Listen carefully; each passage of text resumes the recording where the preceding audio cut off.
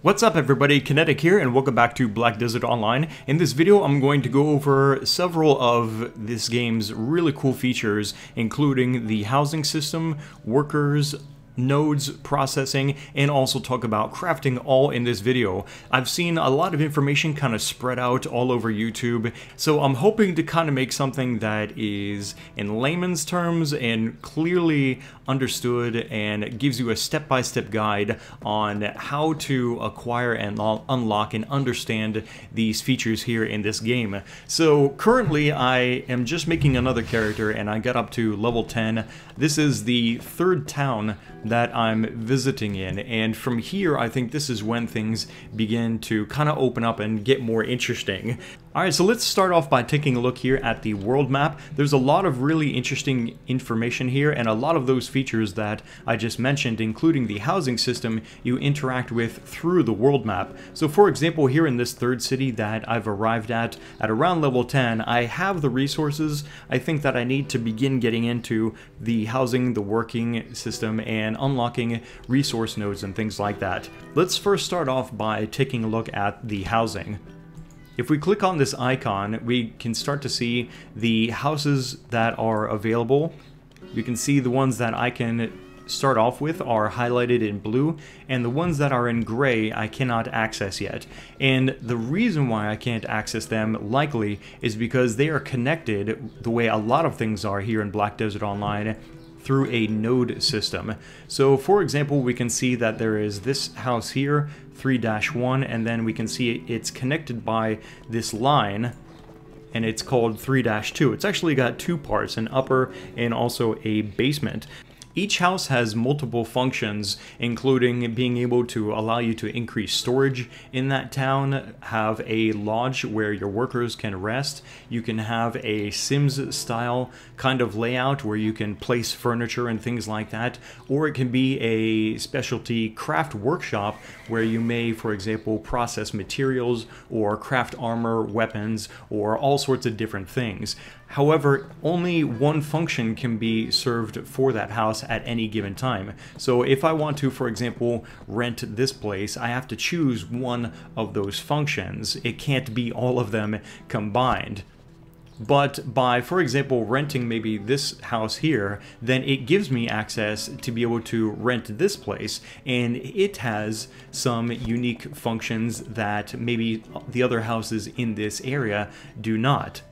Some houses may even have some specialty functions, for example processing these normal logs into workable wood that may be assembled to create furniture or something like that or may assemble even larger things. For example, this house here can assemble a carriage for you. So if you have access to this room, then you will be able to bring those parts to this place and then it will assemble a carriage for you, which is really cool. You won't have access to these functions though until you unlock the chain of nodes that connects all of these different houses. So for example, if I want to get to this workshop where I can put together a carriage for my character, then I'll first have to start with 2-1, I'll have to unlock 2-2, and then eventually get 2-3. So let's say, for example, I do want to start unlocking up to 2-3 and be able to get that workshop to put together a carriage. Then what I would need to do is first choose one of the functions here that I want to unlock for this house. Let's say, okay, I'll unlock this first option here and it tells me what the requirements are. I need to spend one contribution point and I currently have seven. So click this button here it says, are you sure you want to spend that point? I'll hit enter. It's going to now take two minutes, I guess, for all of the paperwork to finish up until I have that house ready. Alright, we've got 10 seconds left until this is finished. Five, four, three, two, one. And there we go. Now that's complete. So I now have access, you can see, to 2.2. So if I want, I can go ahead and rent that. You may be wondering why some of these functions have a single arrow and others have multiples. You can kind of look at this as tiers of, uh, of functions. So for example, maybe I am renting this function here. I would start off by getting the first tier and then to unlock or upgrade to the second tier of whatever that function is, it I believe will only cost me money. It won't cost me additional contribution points. Now the interesting thing about this housing system, the contribution points and the money is that when you are using contribution points, that's kind of like a deposit but you can get that deposit back. So let's say I want to close up shop. I don't need this uh, this house anymore and I want to get my contribution points back so that way I can spend them somewhere else. Then I would go ahead and click this. It would it, then it's like, are you sure you want to do that? And then I say yes, and then now I'm back to 7-7 on my contribution points. Now any money that I spent for unlocking or upgrading though, that house is gone. I can't get that back. It's spent, and that's it. But it is nice to know that if I am finished with whatever kind of function that I am using that particular place for, that I can get those contribution points back and then use them somewhere else. So there's a basic introduction to what the housing system is like here in Black Desert Online. I next want to talk about the NPC workers. They can do a variety of different things for you. They can collect materials, they can process materials into more workable materials for crafting, and then actually put those things together and, for example, craft armor for you, or weapons, or tools, or things like that. Your NPC workers aren't doing this for free though. They have their own needs, they need to be fed and housed actually as well. The cool thing is that your first NPC worker, you don't need to rent a, a place for him to stay, but anywhere above that first worker, and you will definitely want to unlock multiple workers, then you will have to use one of these houses and unlock a lodge for them to stay at. So that's actually what I want to first do. I want to find a, a house that looks good to me and then rent it so that way I can have a second worker. My first worker will be cool. I guess he's hanging out at the tavern or whatever, but I want to get a second worker going. So here I'm going to unlock this lodge here and now I can hire a second worker and this is where he will stay. So while we're waiting on that, let's actually go over to the worker NPC and see what workers we can hire for us. In each town, you can go to this icon here, the uh, the pickaxe, and this, I believe, is where you will most commonly, if not always, find these kind of guys that are standing around. These are the workers that you can hire, and there's an NPC nearby that is sort of like their manager. Alright, so taking a look here at the NPC that is being offered to me, it is of course going to cost me the lodge space if I already have one worker hired, and it's also going to cost the silver amount in order to hire this NPC, on top of also the vigor that I just spent just taking a look at this worker. I'll go ahead and hire him, and now he is in my employ. So now that we've got some NPC workers, I want to talk more in depth about the node system here in Black Desert Online. Kind of like we saw here in the towns, the way these houses are connected into a chain. Also, the various resources, farms, and even the towns themselves can all be connected in this node system. Each one of these locations represents a node, and if I want to connect them, for example, for transportation purposes, so that way, maybe for example, my NPC worker can transport goods, then I need to connect these nodes together so that way that's possible. I could, of course, if I want to, simply deliver it myself, but what's the point in having NPC workers if they're not doing mundane stuff like that for you, right? So it starts off by, for example, having a house. You can already see now in this town, because I have uh, some houses unlocked, there is this chain now, this line that is connecting to nearby nodes. And once I unlock those nodes, then I can connect to other nearby nodes, and eventually it all connects together. Now, each time you do that, it costs you, I believe, your contribution points. So you kind of have to be smart about what nodes you're connecting for what reasons and stuff like that, because you can't simply connect everything all together together at one time, you are going to have to kind of pick and choose uh, which is going to serve you for whatever you need at the time. If that sounds confusing, let me just put it in a really simple example. Right now I've got workers that are doing absolutely nothing for me. What I want them to do is go out there and I want them to do some work for me, like for example, collect some resource materials. What I would like them to do is to do some mining at a nearby mining spot. However, I need to go over there and I need to unlock that location so that way my NPC workers can travel over there and start collecting mining materials for me. Alright, so I've arrived at the location where the NPC can be found, and by talking to him, that will give me access to this node, and then I can go ahead and start sending workers here. The cool thing about making this trip, though, is I've actually got a boss monster that I need to fight. At every certain kind of level range, there is like a summoned boss fight that you can have. And this happens to be the very first one. I believe, here in Black Desert Online.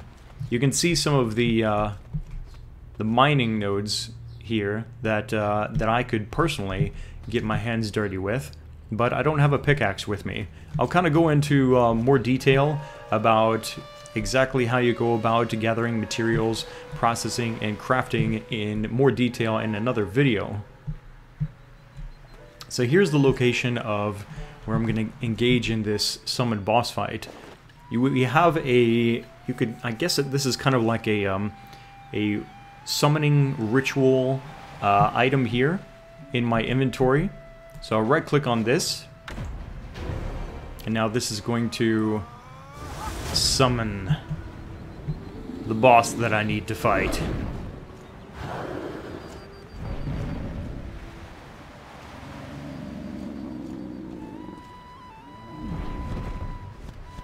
That's really awesome. I love the way they kind of climb out of this, like, dark abyss. Alright, you ready, buddy? Let's do this!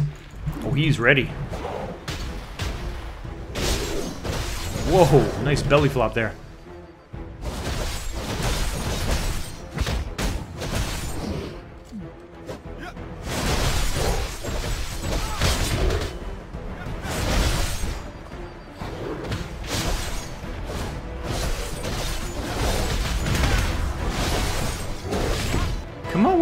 Do this.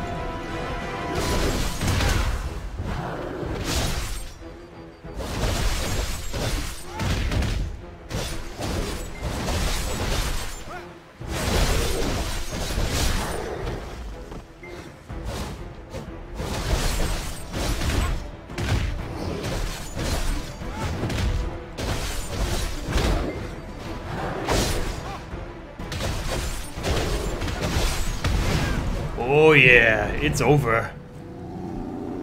Go back to the shadow. awesome. Alright, so that is going to lead us into our first look at the Black Spirit.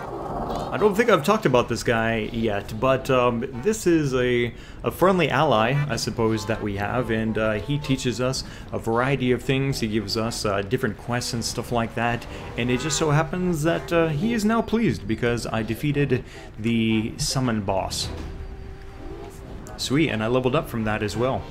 So now that makes me level 12. I did do a couple of uh, little quests here and there in between talking about these features. So I'm now sitting at 8 contribution points and I have a new max cap of 12 vigor. Let's have a chat with this gentleman again. I think he might be happy now. Yes, he is. Okay, so now I'm not entirely sure if that was necessarily uh, related to the summon boss quest, but now we have access to unlocking this mining node area here. So normally you can see uh, this is kind of what one of these resource nodes may look like. You can left click on them here and then there are sub nodes that you can click on and it says first I need to unlock this here. So I'm going to click that. That costs me one contribution point, I believe, just now. Now I can click on the subnode. Unlock that. Yep, that cost me another contribution point there. And now I can tell my NPC workers to come to this location and start mining for me. You can see now after unlocking this mining resource location, I have these two nodes connected. That means that I can send NPC workers there to travel to this location and come back and leave in my storage whatever they find. Alright, I'm just leaving some items here in the, uh, the town storage. This can be found by the icon that looks just like this. This is our storage space here in this town. There you can see that same icon here. So if you're ever looking for it in the town, just uh, assuming they're not changing the icon anytime soon, just look for that, and that's where the, the storage NPC can be found. It's important to make sure that you're not carrying too much stuff. As I mentioned in the, the very first video, you have weight limitations. Everything that you carry, even the money that you carry uh, has weight to it. So if you're carrying too much weight, uh, it will fill up your weight capacity. Same thing with potions. They stack, so it, even though it only takes up one slot, each individual potion weighs something. So if you have too many potions, it's going to weigh you down heavily. Eventually, you're going to suffer a movement penalty of up to 150%, and that is moving extremely slow. So make sure you leave things that aren't necessary for you to carry in the towns. And as I believe I've mentioned before a little bit, things are very much localized in a variety of ways here in Black Desert Online. The things that you store in town are only available in that town. If you leave things in your bank, that's where they're going to be. You won't be able to get them magically from other towns. Same thing with your mounts. If you leave a horse or a donkey parked in this town, then you will have to come to this place to get that mount. They don't just pop out of thin air. Also, other things are localized. For example, the auction houses are localized, so the items that are being sold at the auction house here in this town are only available here at this town. Exploration in Black Desert Online is extremely important. It's going to give you new NPCs that you can have conversations with, that will have uh, special services that you might be interested in. You will more than likely want to go out into the wilds, into various areas in hopes of, for example, finding new materials that you can gather. So for example, if we take a look at the map, currently there is absolutely nothing that can be seen uh, in this area. But pretty soon here, we can see up on the mini-map there, it's kind of hard to see actually, but there is a question mark there. These question marks represent NPCs that you are likely to want to talk to because they may be a merchant or they may have some other function. So let's go ahead and talk to this guy. Sure enough, there's somebody here. Have a conversation with him. Ah, and look, he has a resource node. Let's take a look at the map really quick. Now you can see, since I've discovered this NPC here, we have a some kind of herbalism node here. So I can click here to unlock this node, and now it gives me access to the sub node. And so, just like before, I can send NPC workers here. This time they're not mining for me, they're gonna collect mushrooms. Just like with the housing system, if we no longer have use for whatever the resource node provides, we can get that refunded back to us. So I had that refunded, click on this button again, and now I'm back to 5 of my 8 contribution points. There you have it, ladies and gentlemen. That is my presentation for today on Black Desert Online's housing, worker, node processing, and crafting system. That isn't all, though. There are more details that I can relay to you specifically. I can think of a lot more to talk about in regards to processing and crafting and trading and trade routes and actually quite a number of other things. But I think that this video has gotten long enough. That covers more than likely everything that I know at this time about the basics of how to get started with housing and workers and understanding how nodes connect things here in Black Desert Online. Now I want to hear what, what, you guys have to say. Leave me your thoughts in the comments section below. Click the like button to support these Black Desert Online videos and stay subscribed. More videos are coming up soon. Thanks again for watching. My name is Kinetic, and I'll see you next time.